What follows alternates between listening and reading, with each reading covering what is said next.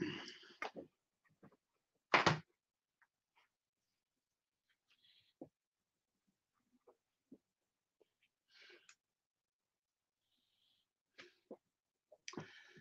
good morning, everyone. This is Dr. Bill with World Bible School, and welcome to Take Another Look, where we are talking about the book of Revelation, verse by verse. This is lesson 100, number 127 that we're doing today. So, welcome, everyone. It's good to see Dr. Faye joining in, and uh, others are coming on board as we uh, as we uh, go. And um, so I'm going to go ahead and get started, and then I'll address your comments and things after the show. Uh, but uh, if you would, please click like and then click share so that others can watch this video. Also, good to see uh, Linda Routley, one of our WBSU students, Brother David Jacobs, our board member, and others who are, are watching right now. Uh, you don't have to comment in the comment section, but you can. And uh, thank you so much for being on the show this morning. Uh, as I said, uh, this is called Take Another Look, where we're talking about the book of Revelation verse by verse. And we are looking at the events surrounding the Apostle John and this vision that he has. Uh, which turns out to be more than a vision, almost like a, a, a supernatural interaction with the, the realm of God. And uh, in these lessons, I'm sharing with you what I believe Holy Spirit has shared with me and what He has shown me. And so, if you're joining me for the first time, then uh, as we look at the Apostle John, we're seeing uh, as he saw into this uh, new dimension. Uh, not brand new in that he wasn't aware, but brand new in that he never had this kind of an encounter before that we we can see, uh, and we're seeing what we can learn from his experience. So keep in mind that I am teaching the, the book of Revelation uh, from the idea that this is the unveiling of the anointed one in us. It's a picture, it's an unveiling, it's a showing, it's a revealing of some things that we need to see. So I'm asking you to keep your heart and your mind open to hear what Holy Spirit is saying today because the way I define revelation is the unveiling of the Father's heart. So let's continue today as we see and hear uh, see what uh, look at what John sees next and what John hears next as he shows us how to operate from the heavenly realm of our origin while we're ministering here in this earthly realm. We're looking today at John chapter um, 16, verse um, uh, John 16, verse 10 and verse 11. And so let's look at these verses and then we'll try to uh, break them down so that in an understandable fashion, or at least from the perspective I'm seeing this from. Uh, so here's what it says. Then the fifth angel, or we know that this is the Greek word angelos, which means messenger. And messengers are those who are in the spirit realm, the realm that we can see, we can interact with, but we don't necessarily see with our natural eyes or uh, perceive them with a natural mind that is unrenewed. So that's why I'm teaching this stuff so that we can walk in a renewed mind. Uh, the fifth angel or the fifth messenger poured out his bowl on the throne of the beast. Now we've seen a lot of places, per, so to speak, that these first four bowls have been poured on or poured onto or revealed to different things, but now on the throne of the beast and his kingdom became full of darkness. So this word became uh, tells us that this is a past tense scenario. Uh, we also know that from Revelation 1, verse 1, or from Revelation 1, those first few verses, that this is a symbolic language that we're looking at here, which describes the book of Revelation. Uh, so the, his kingdom became full of darkness, and they gnawed their tongues because of the pain the blasphemy of God. They blasphemed God, the God of heaven, because of their pains and their sores, and they did not repent of all of their deeds or of their deeds. So we have seen the the bowls of wrath being poured out in other places so far. But remember uh, that verse one had told us of chapter 16, uh, with a I said with a loud voice from the temple, uh, saying to the seven messengers, Go and pour out the seven bowls of wrath of God on the earth.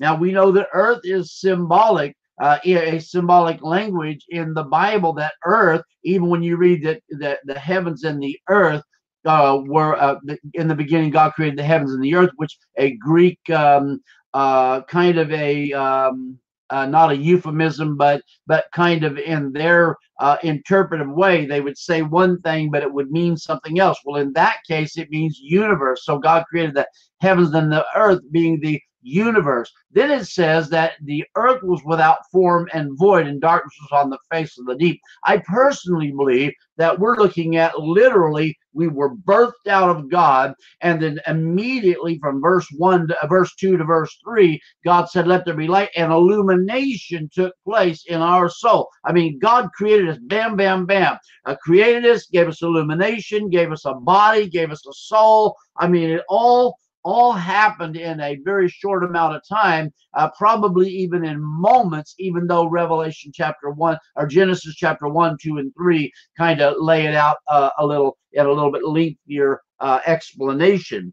And so as we look at this, we need to keep in mind that the word for wrath comes from the Greek word uh, thumos, thumos, uh, which refers to the fierceness and indignation of God's passion toward his creation. And as the Greek said, as it's as if he were breathing hard toward you in uh, as in being passionate about you.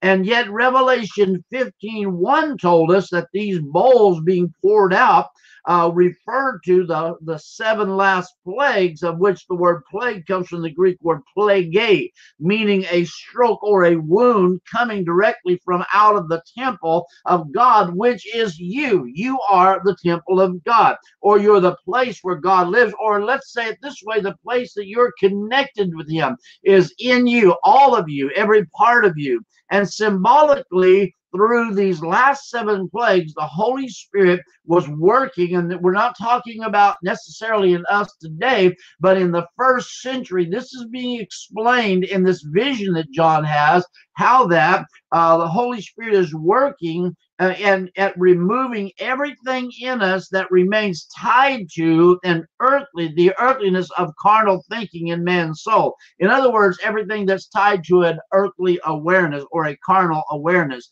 But notice the place where the fifth bowl is poured out, which is on the throne of the beast. Revelation 16 10 uh, in the King James said, The fifth angel poured out his vial up on the seat of the beast, and the and his kingdom was full of darkness, and they gnawed their tongues for pain. Now, when we look at this, we see that the New King James says upon the the uh, uh, up on the uh, throne, whereas the King James says upon the seat.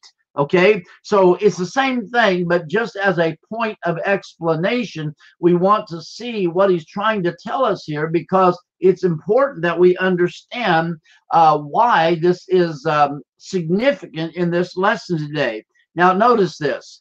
Um, uh, the, the word for seat, as used here, is symbolic of authority or of the rule of one who is in authority. While the word for seat is translated as throne in other places, the emphasis remains the same. So here's the thing the word throne in the book of Revelation is symbolic of dominion. Now, where do you see dominion at the first time? That's right, in Genesis chapter 1. God gave man dominion over all the creation of his hands the, the bird, the birds of the air, the fowl of the air, the, the beast of the field, uh, and so on.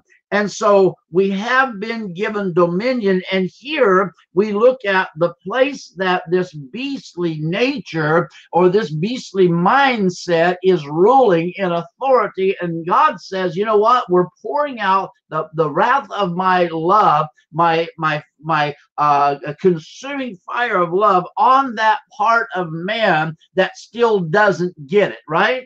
And uh, and so uh, as as we look here, we see that this this this dominion that emanates from this throne or that goes along with this seat of authority. Uh, it's a position or the center from where the authority of a king or a ruler flows out of his to his to his entire kingdom or even to an entire nation. Notice this uh, writer and commentator J. Preston Eby, uh, which is the only commentator I use in this uh, uh, the, these lessons and I use very little. If you look at his commentary, it's massive, and I use just small fragments just to kind of uh, move things along. But here he says, Jesus said uh, uh, of one of the scribes and Pharisees, "Ye sit in Moses' seat."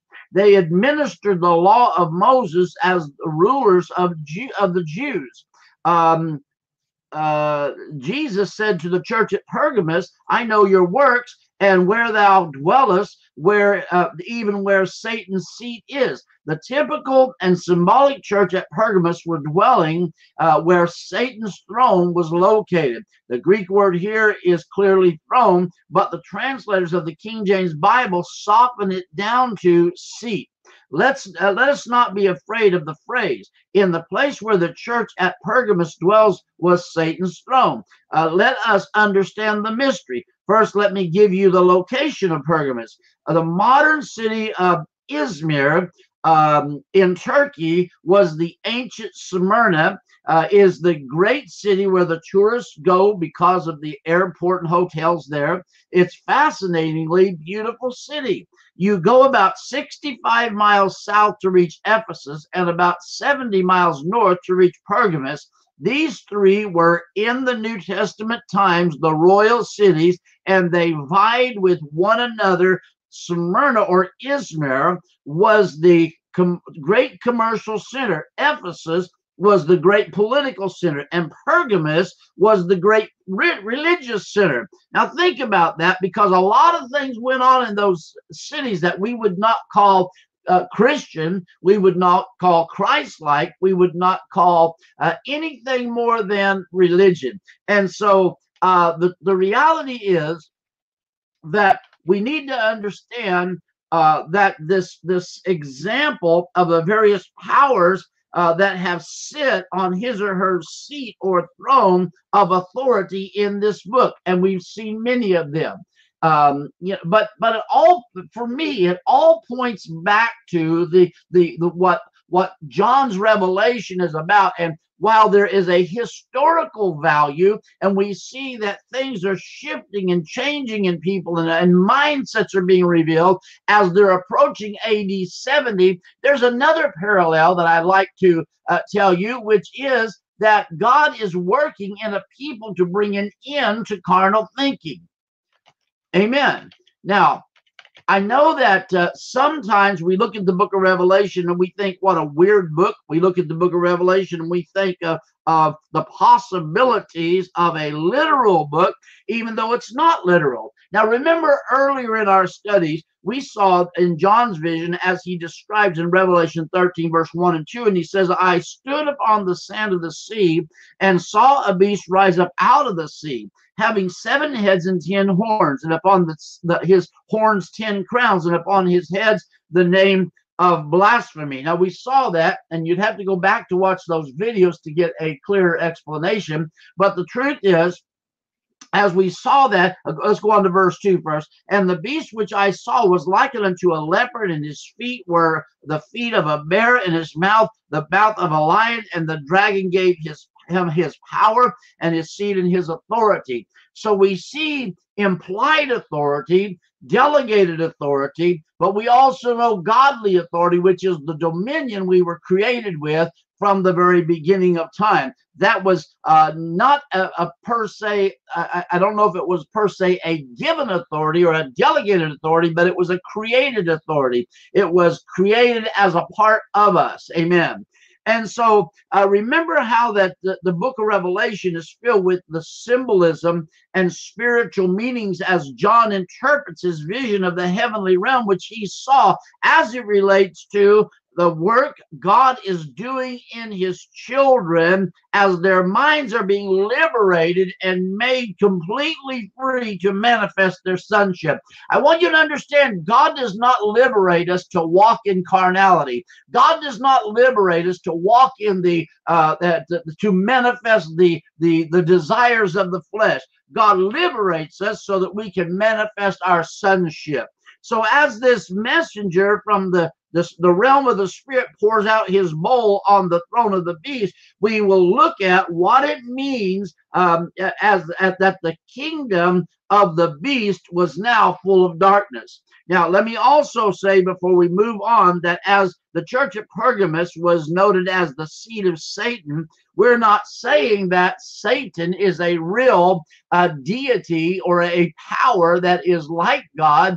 Uh, it, and, and let me just say, not even God-like, okay? Not even God-like uh, but is a man-made mythological philosophy uh, uh, and uh, and a man-made ideology. As a matter of fact, Revelation chapter 12 says that the great red fiery dragon and said uh, called uh, the, the devil and Satan, the word called there means devil and Satan are actually like nicknames from a mythological origin and thus not real.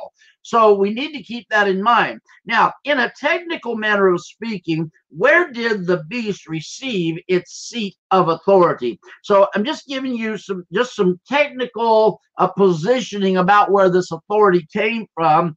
And uh, the, the fact is, is that as we've read all the way back to chapter 12 about the great red dragon, uh, the, the thing to note is, is that this beastly authority came from the great red dragon, which is defined as the religious mindset within mankind. So you will read scriptures in the book of Revelation where you see it's almost like the, this great mindset of religion and i'm going to talk to you about that today but you see these fingers trickling out or these these breaking off of different thoughts it's like the mind has its thoughts as its main belief system but then you see these these these thoughts that that uh, uh, venture out and these thoughts that uh, produce other things. So, so the reality is, is that uh, it's a mind, a one mind with many patterns of thoughts, and uh, that's kind of how that works. But this great red dragon is a religious mindset within mankind, not in the world, not in not in the, the, in space, but within mankind as a whole. The first beast came up out of the earthliness of man's thinking through sin. Now, here again, we look at the word sin, the Greek word hamartia, which refers to error or to be mistaken. And from, from the breakdown of this word, we find uh, the definition of sin to be mistaken identity. And we're going to talk about how mistaken identity has infiltrated mankind today. Uh, even to this day, there are people who operate out of a mistaken identity. You can call it a fallen mindset. You can call it an Adamic mindset, an, uh, a, a human nature. You can call it a lot of things. But let's be real. We call sin sin because we think what people are doing is sin. Uh, the truth is, is that what people do is the action or the the the uh, it's the action or it's the act of uh, or the portrayal of sin. We call it sinning, we call it sin, but sin itself is the operation of a mistaken identity that it will cause you to carry out the act of what you're mistaken about.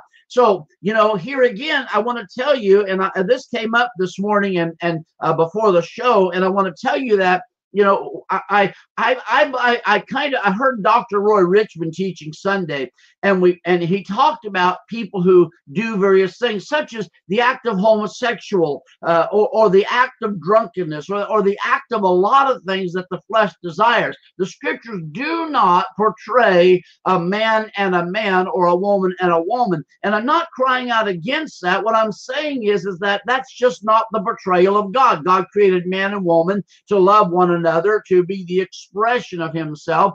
And the truth is, is that we uh, we operate out of a fallen mindset or a mistaken identity. No matter what we're doing, that is the the the fulfillment of what the flesh desires. But now, hear, hear me, don't turn me off. God loves people unconditionally. I don't care what you're doing, what you've done, or what you're about to do. God loves you unconditionally. His grace has been uh, uh, uh, imputed upon you unconditionally. God's not holding sins and trespasses against you. Now that means this then. Let's say, for example, because this is important to this, this changing of the beastly nature or beastly mindset, or even a carnal mindset, to that of uh, walking as a fully manifested son and daughter of God. Let's say that that I, uh, Dr. Bill, operates under this mistaken identity, and uh, I literally I literally uh, go out and uh, uh, uh, uh rob 7-Elevens or convenience stores every now and then just to finance my ministry. Now that's not only not, that's not only robbing, rob, operating out of a fear of, of where is God? Can't God take care of me? But that's also breaking the law. Uh, so there's a lot of things that have been defined in our country, the United States of America, as laws and there's been the breaking of those laws. But here's the thing about it, folks God loves you unconditionally. You can go to prison for murder, you can go to prison and be uh, put on death row, and you can actually be um, uh, executed, and God still loves you unconditionally. Do you know where you're going to go after that? You're going to be right where in the realm you've been connected with the whole time, in the realm of that great cloud of witnesses, uh, that uh, uh, that uh, that realm of of the God's messengers. Uh, just because we operate in a natural awareness right now. So for me to steal and to, to rob and to, to hold up convenience stores would be operating out of a mistaken identity. So I'm trying to use a lightweight example to bring a real picture to the forefront that we have operated out of some things that was never God's best for us. Okay. Now, uh, so the, the first beast gave its uh, gave its authority to the second beast. So we have this religious mindset in mankind as a whole. Now, mankind individually does a lot of things. Okay, we do a lot of stuff, but the truth is is that we uh, as we as we do all of those things, it all comes from the oneness of our religious mindset. And so the first beast got its authority from the religious mindset, and it gave authority to the second beast, so that the authority of the second beast is also the authority of the throne of the dragon or the seed of the dragon.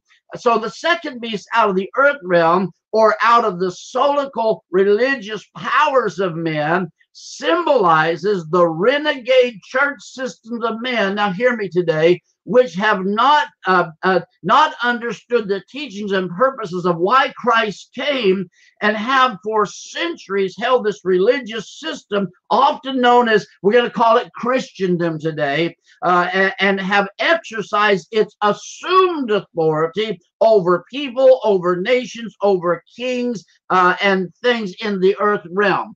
And, I talk about assumed authority because honestly, we in Christendom have had some assumed authority uh, or exercised authority in places that we really never had authority. But we need to understand there's a difference between authority uh, um, uh, that we actually have versus what has been assumed. Now, let me just go on to say this and welcome everybody, all you who are just now joining the show. God bless you. Thank you so much. Um, so we we see through this uh, this idolatrous these idolatrous patterns in its doctrines from where um, uh, corrupted errors or corrupted rituals or corrupted sacraments produce a what we call a powerless church.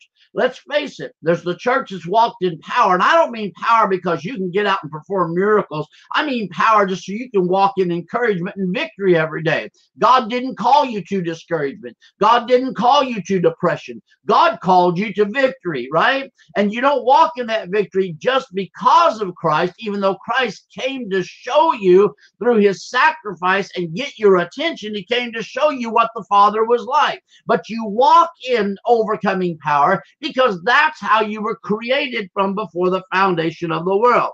So Christendom has been powerless because of a carnal mindset, causing her spiritual life to be without revelation and appears as a stagnated and dead system.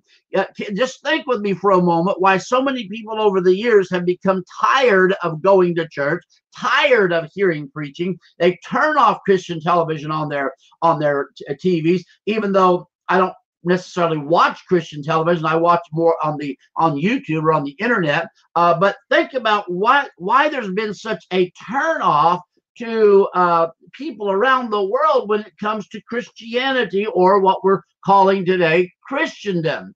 Well, there's been a great deal of turnoff, right? Um, I mean, because we've seen a religious system that just doesn't work. Okay, so the fact is this that the entire religious system of the ancient great red dragon concept was birthed out of mythology, causing billions of so called Christians to believe that they had to bow down to this religious system of do's and don'ts just to please God. Now, let's face it, you've probably been there just like I have. I was raised in that. And so you've probably been there where you thought if I don't do, then I'm in trouble. If I do, then I'm okay. Well, the fact is, is you're not okay or you're not in trouble based on your performance. You're okay because God made you out of himself. Now, again, the seat of the beast, called in modern scripture as Satan's throne, which we're talking about here for a moment or two, uh, Satan's throne started its religion when the first hiss took place within the mind of Eve and she forgot who she was created as. Now, think about this. Eve, in and of herself, was not a bad person. Adam was birthed out of the spirit realm just like you. So they're not bad people. And and let there's different beliefs about Adam and Eve that they're really symbolic of, like Eve is symbolic of the of, of God or of the, the, the church or the heart of God, and Eve is kind of symbolic of Israel, or, or I mean Adam symbolic of Israel. Uh, I don't know whether those things are accurate or not, but let's just let's just go with that Adam and Eve were literal people. Well, Adam and Eve uh, did not intend to interact with a serpent. Now, the serpent was not a physical snake, the serpent was a mindset, something going on in Eve. And I think what it was is that, that Eve began to have thoughts. God said, Here's a tree that you shouldn't eat of. And um, uh, Eve began to question that, and thoughts begin to form. Uh, and, and she, the, the, the, the snake represents a hiss. And so there was a hissing in the mind of Eve that caused her to, to forget who she was. Genesis 3, verse 1 in the New King James says, God indeed said, You should not eat of every tree of the garden. So Eve began to question within her own mind the choice given to them. So here's the trees of the garden that you can eat of, eat all of that you want, but here's the one stay away from. And even if that's symbolic, okay, even if it represents something else, let's just go with that for the moment and just say that it was actual and real eh, or literal and real. So if that's so, then let's think about it this way. Uh, Genesis 2 15 through 17 says, And the Lord God took man and put him in the Garden of Eden to tend or to cultivate and keep it. And the Lord God commanded the man, saying, Of every tree of the garden you may freely eat Keep in mind, Eve is not being birthed out of Adam's uh, side, out of the rib yet. Verse 17, but the, the tree of the knowledge of good and evil you shall not eat, for in the day that you shall eat of it, you will surely die. Now, some people believe that's where death began. And let me just say there's a literal translation here that says this that uh, it says that uh, to to surely die is literally translated as dying you shall die, meaning to die prematurely. Dying you shall die. So you don't die and then you die again. Uh, you you it, it's it's talking about premature death. It's talking about that death was never God's intention. Why do you think Jesus came and he abolished death? He didn't abolish death in terms of that God already had not designed us for death, uh, but he did in terms of that uh, uh to shake our memory, to get our attention, to let us know that hey, you weren't created for this, so we're we're dealing with this again. Uh, so it, this means that the lie of separation from God will cause them to die prematurely, even though Adam lived to be 930 years old.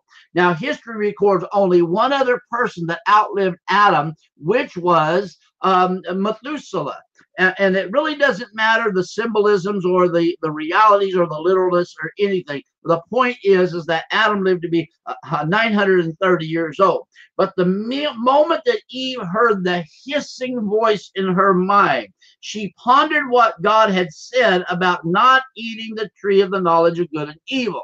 Now here's the thing. The knowledge held a lie uh, the, the lie of a carnal mindset of the struggle of self effort and self dependence, as in a sense of separation from God. What do you think independence is? To be independent of something is to be separated from something, right? And so this this mindset of independence um, uh, be, be, became the uh, to the forefront of Eve's thinking, and questions begin to arise in her thoughts, which said something like, "Should I do good?" Or what if I do bad? And afterward, how will God feel about me? Now, don't tell me today that you've not had these thoughts at some point in your life, just like I have or anybody else has. Should I do good?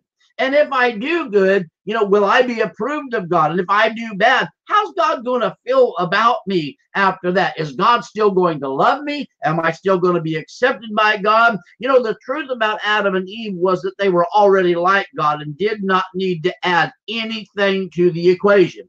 Are you hearing that?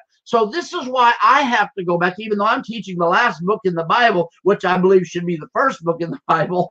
Uh, that's why I'm teaching the last book in the Bible because the, the truth is is that that that Genesis one one before and after is the beginning, is the culmination of this whole thing. And the equation presented here is not really a, an equation, but a statement of truth. And that is that you were created, you were formed, you were squeezed out of God's own person, his own being, and you were created his mirrored reflection. And for me to look in the mirror and see a reflection would be me, a reflection of me, but not my true self. It would just be a a reflection. But when God created you as his reflection, the word reflection there is much deeper than uh, just looking in a mirror. It's almost like a carbon copy of the exact same. Because, see, even though we're one with God, we're one with God, the Godhead is one, we are one with all mankind, whether we like it or not, but we're also one with our Creator. And just as God is one and we are one with Him, it does not take away our individualness to be the reflection of God, to express ourselves, to be the express image of who God is in this world. And so when it comes to Adam and Eve, they fell into mistaken identity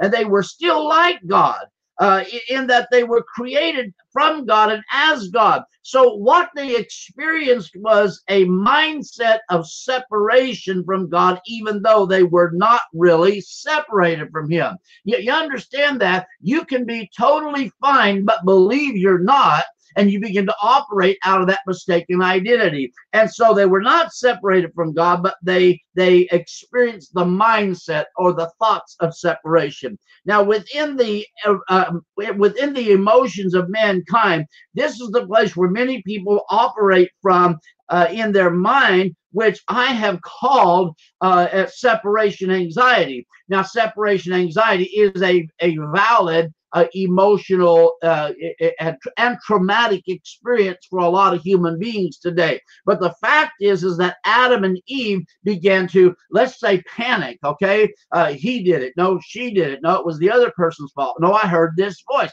and the blame game began to arise because of the fear of separation. I'm not really separated, but I think I'm separated, so I op- operate out of the fear of separation. And this is where many people deal with emotional instabilities, even in their faith. Right? Okay. So, this is why I say that the religion of Christendom is a false form based on a carnal, man made effort of knowing God, even though this could be called a so called Christian religion. I'm not against people calling themselves Christians. I'm not against the idea of Christianity. I, I, think it's awesome. I think it's wonderful that we are Christians per se. What I don't want to do is use my Christianness to say I'm a Christian and you're not, because I don't want to separate anybody from me, even in their minds, just like God didn't want anybody being separated from Him, even in their minds. So we see, you see here, what we do and what we are is called God and His family. Uh, that I've heard that years ago. That's the best expression I've ever heard about this thing called Christianity. Is we're talking about God and His family. Uh, what we do and, and what we are is knowing our true identity from our origin out of God, and we've got to grab hold of that and and get that in our thinking and and hang on to that at, at Genesis uh, 3, verse 5 in the New King James said, For God knows that in the day you eat of it, your eyes will be open and you will be like God, knowing or to be enlightened to good and evil. You see, Adam and Eve began to die uh, physically. They were immortal, but they begin to die because they believed they were separated from God. Listen, listen, there's there I knew somebody who said they wanted to die in life. I knew somebody that prophesied their own death. They spoke death. They spoke their desire of death. And and uh, and and, and you know I, I don't understand all of the reasons why a person would prophesy their own death, but this person died. Uh, this person got, uh, uh got, uh, got through this negative separation mindset, through this fear. Uh, it got cancer throughout all of their body and died and was just fine with dying. I want to tell you something that God didn't create you for death, God created you for life. God didn't create you for the struggle of the, doing good or doing evil or where do I do I teeter totter between the two? No, God created you to eat of the tree of life. Uh, the the tree and and Jesus is the tree of life. Father God is the tree of life. This whole thing of being created as immortal spirit beings, just like our Father, is eating of the tree of life. Embracing that is the eating of it. And so they begin to believe they were separated from God, which simply means that they believed that where they were not like God or even as God. This is a great struggle today in Christendom, is believing that we're not God. Uh, and, and I say that because even David said in Psalms chapter 8, he said, What is man that you are mindful of him? Uh, you visited him. You crowned him with glory and honor. You created him a little lower than the angels in our modern translations. But in our, our, our, our Hebrew translations, it doesn't read that way. And someone said to me one time, you know, just quote the King James and take it, quote the whole verse and, and don't put in any Greek or Hebrew. Look, I can't take a modern translation of our day and time and say that's the voice of God. I have to go back and I have to try to unscramble what God really said in an, ori- in an uh, original language. And what I read there is God didn't say you're a little lower than angels or even a little lower than Elohim, but he said you are as gods. And that God there is a lowercase g, but he's saying you are as gods. And so when we say we are as God, uh, the, people really freak out about that and saying you're trying to take God's place. No, that's not it. Because see, God created everyone like Himself, in that we are His reflection. And what religion teaches today is carnal realm theology. We're not like God. But Adam and Eve begin to, to change in their, their body, in their chemistry. They begin to die because they believed they were separated from God. And that mindset, that thought came out of, of, of the fact that they believed they were not like God.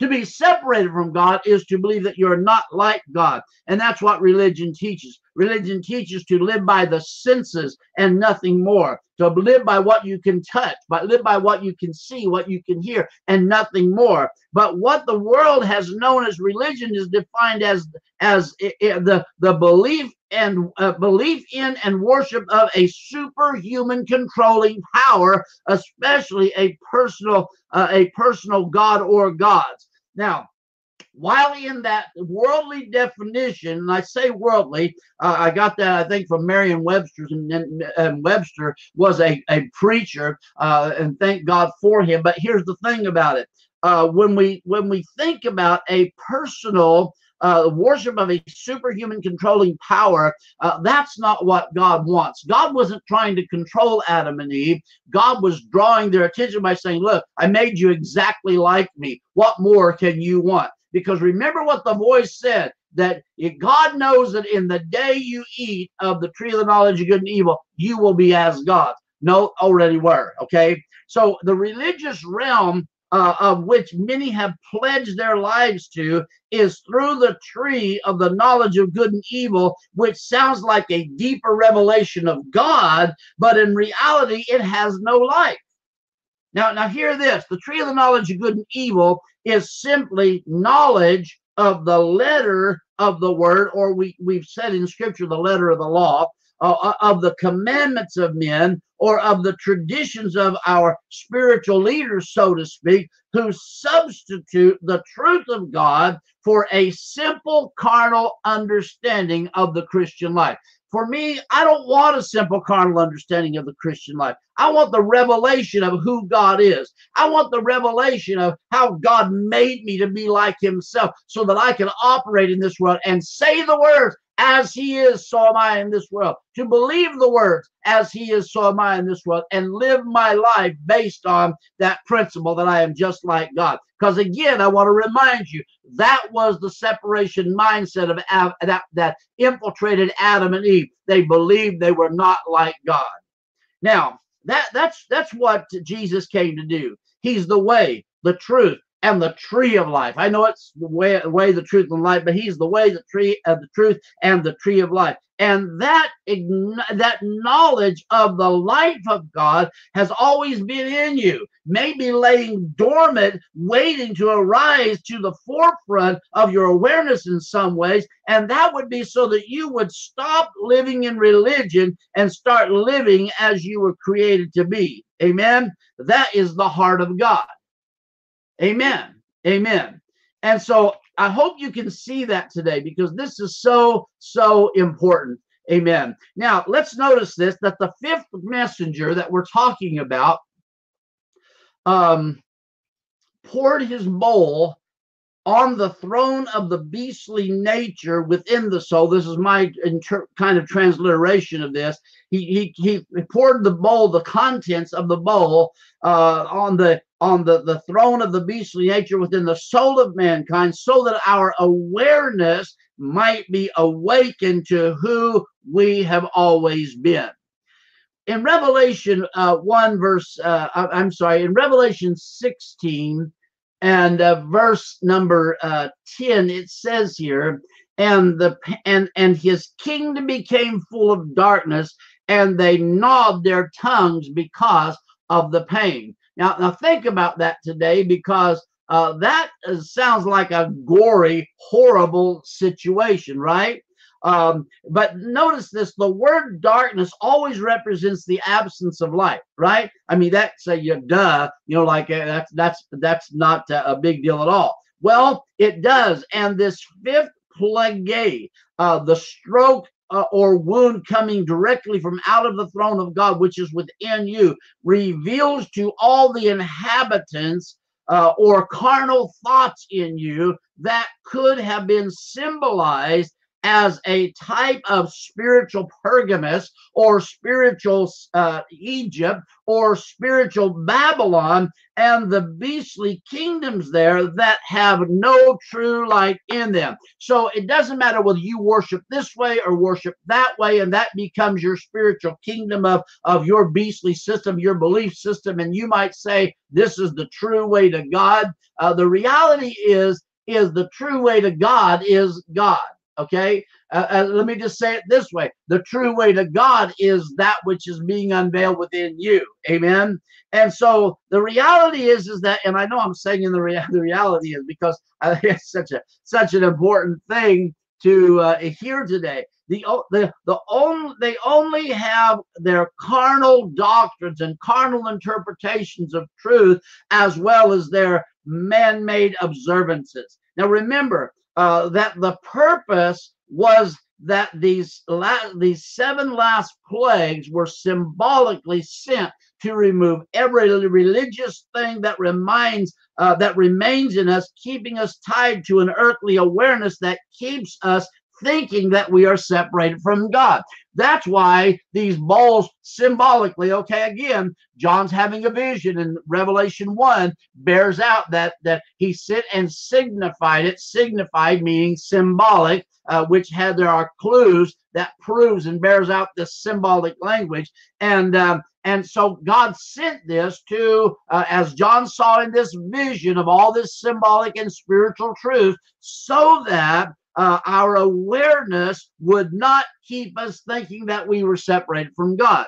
Writer and commentator J. Preston Eby says, It is my deep conviction that through the, uh, the ministry of God's called and qualified elect, there will be shed forth such a mighty revelation of truth uh, and reality until the power of, of that the doctrines of men and traditions of the elders hold held over people the people will be uh, drawn off uh, plunging the whole system into thick darkness. The bestial kingdom is worldwide, and the darkness brought in this bowl, uh, the darkness brought in by this bowl of God's passion is coextensive to his empire. From the throne to be utmost, from the throne to the utmost limits of, of religious Babylon, everything is shrouded in the mantle of deep, dark, uh, starless night. Isaiah prophesied this when he said, Behold, the darkness shall cover the earth, and gross darkness the people. Uh, Joel prophesied of it uh, when he said, The day uh, of the Lord cometh, and a, a a day of darkness, of gloominess, the day of clouds and thick darkness. Uh, the sun shall be turned into darkness. Uh, in this great day of the Lord, a dreadful pall of, uh, of, of um, of doom is destined to settle over the entire kingdom of the beast, which what has been built upon uh, his throne and the in the heights of the man's carnal mind. Now listen to this. The kingdom includes all the earth dwellers, the carnal minded, solical centered Christians, followers and worshipers of the bestial religious orders. So, you know, there is what is called man-made religion. A man-made religion, for me, at least, I think what what I believe man-made religion is is when we take the basics of a misunderstood Bible, misunderstood scriptures, and we begin to form our assumptions of what we think it means without ever doing research because there is an old time belief that says we don't use uh, the Strong's Concordance or we uh, which was uh, made in 1890 I think. Uh, we don't use Greek and Hebrew. We don't read other translations. We stick to one translation only generally the King James version. And then we formulate all of these things that we think Christianity is. That becomes a man-made religion and so this is a great prophetic word that uh, J. Preston Eby gave. Uh, uh, as as long as you understand that it is not speaking about the destruction of all who do not believe in Jesus at this present time. No, the destruction only is that God has uh, ever ever wanted was the destruction of every thought that truly does not project his true heart for his creation. Amen. Now, uh, the effect of the outpouring of this fifth bowl of God's dealings was intended to produce such torment while living in carnality that carnality no longer looked good. That operating in darkness, that darkness no longer looked good. And it seems that an effort, uh, an effective description of this phrase uh, could be rendered this way they gnawed their tongues because of the pain. Now I know we see that in actual scripture, but that's a real good expression. Like, uh, and I'll explain that in a few moments. Um, uh, sometimes the emotional pain of being in a place of dark, uh, of darkened in your uh, uh, darkened or darkness in your mind, of having little to no understanding of the Father, and you can seem to feel like you are in torment, as in the gnawing their tongue, which could symbolically uh, represent uh, the chewing over and over the idea of fear of being separated from God in any way. Think about this again. Adam and Eve came to that place of uh, we think we're separated from God. We think God doesn't love us. Now God's coming back for another visitation today, and we're going to go and hide among the trees of the garden. Why did they have to hide? Well, they thought they were naked, so they needed to be clothed. They hid themselves from God. Look, The truth is, they begin to develop this separation mindset. And so when we see this, it creates a state of fear, a state of panic, a state of the chewing over and over, the gnawing of the tongue, not literally chewing your tongue, but uh, in a symbolic way. Uh, Revelation uh, 16, verse 11 said, They blasphemed the God of heaven uh, because of their pains and their sores, and they did not repent of their deeds. Now, when we think about repent today, we think of the at least one of the two Greek words, uh, metanoia or metanoio, which means to change the way you think or to change uh, your mind afterwards. Uh, so the truth is, when we see that, we think about that uh, in ancient, and we think about change your mind. So I say repentance or repent, and people think change the way you think.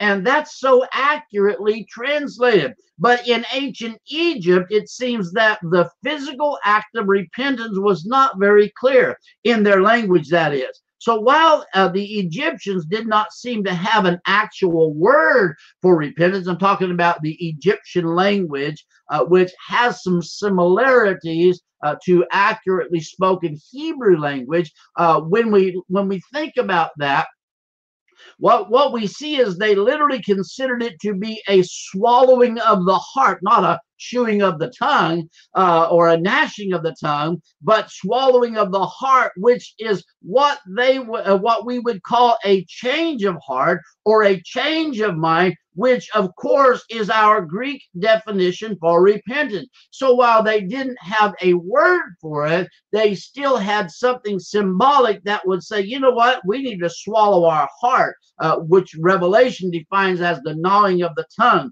We need to swallow our heart or change the way we think. So there is no repentance required of us concerning the unveiling of Christ Jesus. What I mean is you can't you can't explain away or apologize for the revelation of truth in the book of Revelation. When we talk about the revelation of Christ in you, the hope of glory, that's what we're dealing with. I view the book of Revelation maybe differently, maybe a little bit differently than other people. I see it as the processing of people's minds uh, that they will come from carnality to sonship, okay? Uh, from the cross to AD 70, but still from carnality to to sonship. So there is no repentance about that revelation. No need to change your mind except to believe or to buy into this revelation because the manifestation of his life within us invokes repentance in our soul, uh, but the spirit of sonship needs no repentance. Now, now hear what I said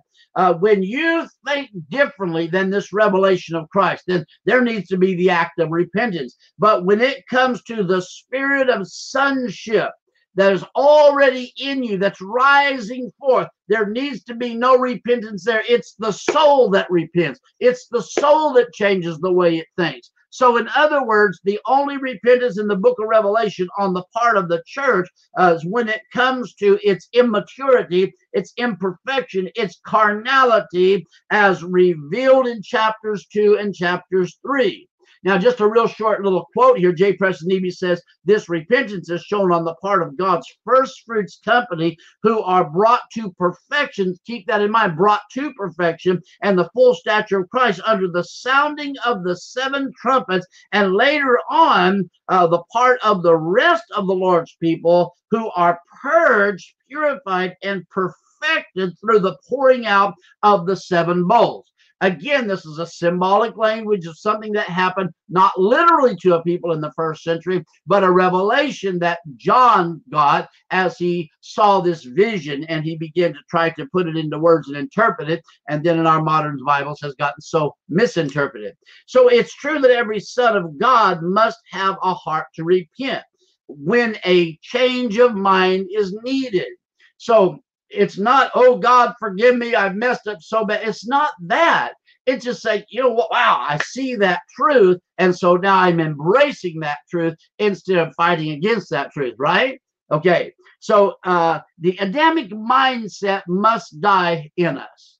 The Adamic mindset must come to an end. You are not like Adam.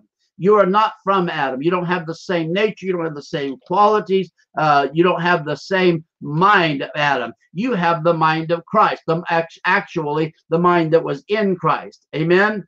All right.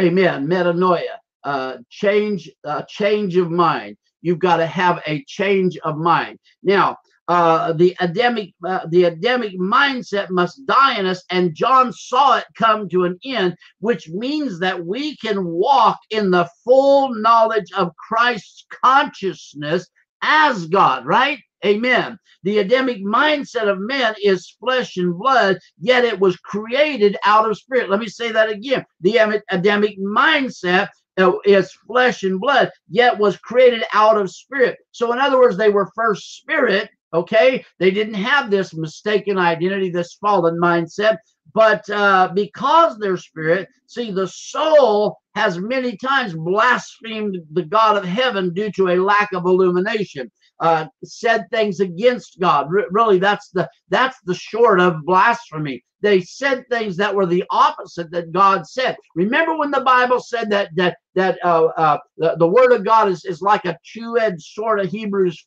4, verse 12, I think, something like that. The word of God is like a two edged sword that actually is translated in the Greek language a two mouthed sword, meaning God says it and then you in response say the same thing. It's two mouth saying the same thing. So it's two mouths is one. Amen.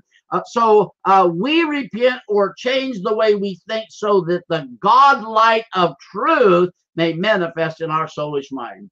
I hope this has helped somebody today because as a new covenant remnant that uh, is uh, that came out that has come out of Christ uh, and continues to emerge and be unveiled to this generation, we're going to have to bring healing and order to the chaos in those that are around us. And here's the thing, folks we are emerging in a new mindset. We're dropping that old carnal thinking of religious mindsets and we're emerging into the same mind as sons and daughters of God. Amen. And so the truth is this that God has a new level of thinking for you and me, which is to start thinking like kings who operate out of a supernatural realm 24 7. So stick with me on this journey as we continue to see more of the unveiling, the revelation of the unveiling of Christ in you, the hope of glory, so that we can discover what John found out as he stepped into the heavenly realms of God, which changed him forever that which is there is already in you, but that which is there uh, as it arises will change everything about you. Uh, we operate out of the heavenly Christ. He is the heavenly Christ. He is the, the, the God of the heavens, and He lives in us. It's time to embrace heaven's mindset right now in this life so that we can experience heaven on earth. Amen. God wants heaven, the knowledge of God, to flood your earth, which is the physical or the the essence of of you as spirit, soul, and body. God wants His essence to flood you. Amen. I hope you got something out of this today. And uh, if you would, we don't have television ratings, but if you would just go ahead and click like and then share uh, so that others around the world can watch this message. Uh, this was powerful today. I hope it was a real blessing to you. And I will see you tomorrow night. Apostle John Barrett will be on Kingdom Dynamics, 6 p.m. Central Standard Time. Friday morning, Pastor Lynn uh, Garner uh, and I will be starting a series at 10 a.m. on Friday mornings, Central Standard Time. Uh, and it's going to be a lot of fun. Amen. So thank you for joining me, and I will see you next time. Have a great day, everybody. Praise the Lord. Amen. Bye bye.